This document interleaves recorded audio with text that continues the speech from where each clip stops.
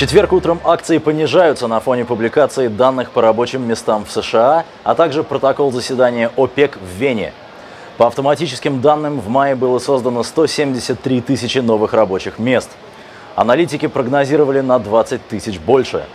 Данные за апрель были пересчитаны со 156 тысяч до 166 тысяч. Заявки на пособие по безработице за прошлую неделю составили 267 тысяч. Доллар США смешан относительно основных конкурентов. Курс пары евро против доллара повышен на 0,06% и составляет 1,1193. Фунт на 0,26% повышен относительно доллара США. Его стоимость 1,4450. Пара доллар против иены понижена на 0,51%. Курс пары составляет 108,94. В фокусе внимания у, на... у наших аналитиков пара евро против иены. Пара находится ниже сопротивления на уровне отметки 122,85.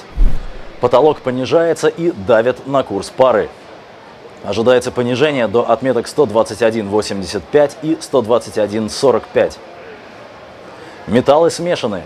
Золото прорвалось над 20 и 50 часовыми скользящими средними.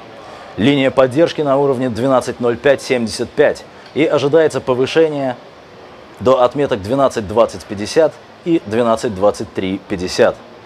Серебро повышено на 0,4%. Унция серебра стоит 15,99. С вами был Даниил Векслер. Вы смотрели Trading Central Web TV.